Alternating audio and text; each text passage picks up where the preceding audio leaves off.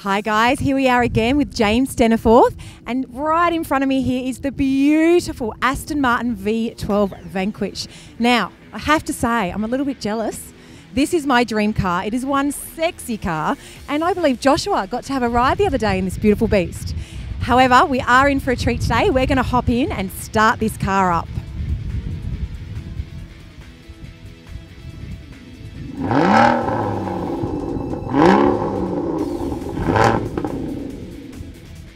Ladies and gentlemen, here we have the uh, V12 Vanquish by Aston Martin, uh, an absolute monster of a car. This car is uh, full carbon fibre, top to toe. Even the painted sections here that we see in China grey are all carbon fibre underneath. The full skin of the car is being painstakingly prepared and styled throughout. We've got the fabulous black wheels contrasting with carbon fibre up through the wing mirrors. It's just one of my favourites, one of my favourites. You can see a glimpse through the window as well. We have California Poppy.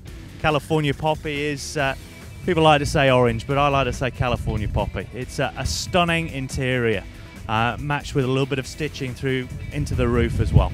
Also, we can see here an exposed carbon fibre on the roof of the car. As we go round to the back of this Aston Martin, bearing in mind that this is the last of the naturally aspirated Aston Martins, producing a fabulous sound coming out the rear of this Vanquish.